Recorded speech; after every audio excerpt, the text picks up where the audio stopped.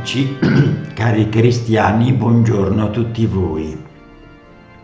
Dopo la pausa del primo maggio riprendiamo la lettura del Vangelo di Giovanni e veniamo trasportati dal brano che ascolteremo oggi in mezzo al momento in cui Gesù è contestato, è attaccato, è fatto oggetto di odio, di insulti, di persecuzione.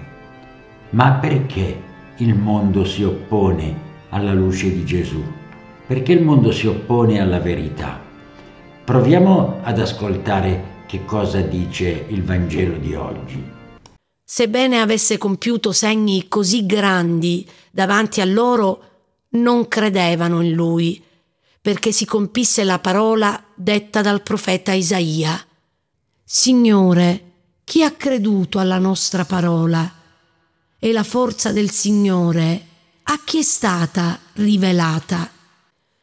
Per questo non potevano credere, perché ancora Isaia disse Ha reso ciechi i loro occhi e duro il loro cuore, perché non vedano con gli occhi e non comprendano con il cuore e non si convertano e io li guarisca.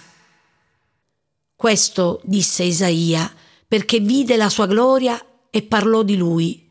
Tuttavia, anche tra i capi molti credettero in lui, ma a causa dei farisei non lo dichiaravano, per non essere espulsi dalla sinagoga.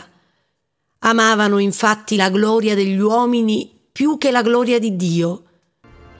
All'apparenza, nelle parole che abbiamo ascoltato, sembrerebbe quasi che sia Dio stesso che chiude ad alcuni la possibilità di ascoltare la parola, di viverla.